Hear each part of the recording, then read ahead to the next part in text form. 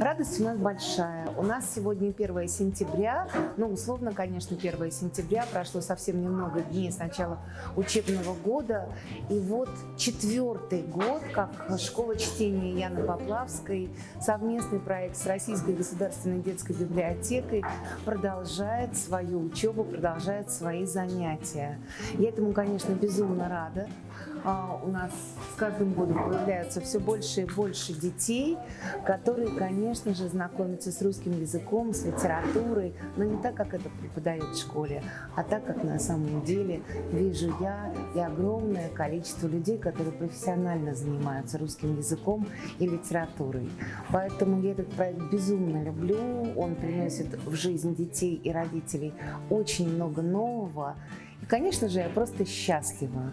И дай бог долгих лет этому проекту.